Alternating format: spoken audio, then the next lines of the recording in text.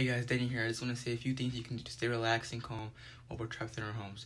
So first off, you guys, the best thing is to know is just like lay, sit on your couch and do nothing and just watch TV. You should go outside and uh, get some fresh air and peace and quiet. It can really help to get your mind off stuff that's going on. Uh, and the most important thing, well, and the last thing, is that to have the right mindset. That quarantine is gonna last forever, and you're not alone. We're all in this together. Hey guys, it's Lourdes and I'm going to show you how I make my smoothies. So first you want to add in some frozen mango. I don't have exact measurements. So, and then you want to add in some frozen strawberries, around half a banana, some almond milk,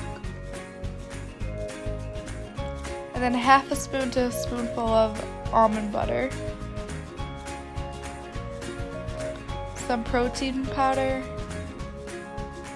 and then you blend it, and there you go. Hope you try my smoothie I would have been recording this video outside today, but Mother Nature decided to literally rain on my video, so I had to move it in here. But that does not change the fact that even though it's a bit blah today, there are still going to be days where it's going to be sunny and hot. And on those days, you need to protect yourself. So, I got some basics here that you can use to protect yourself from the sun. Starting with bottled water. It would be better to have multiples of these around you, but I think one will suffice for my point. Number two, sorry I scared my dog.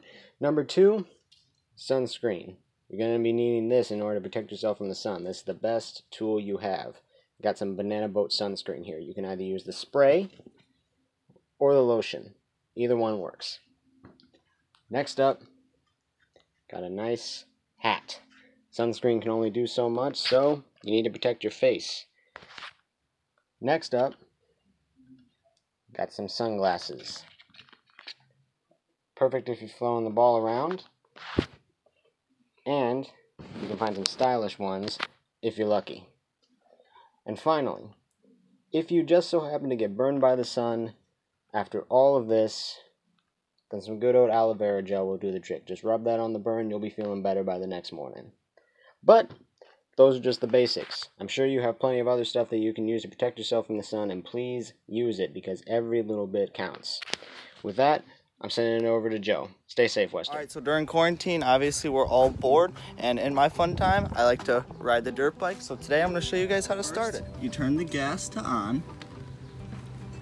I believe it's called the clutch. Then you hop on, you hold the clutch so it can start, and then you start kicking.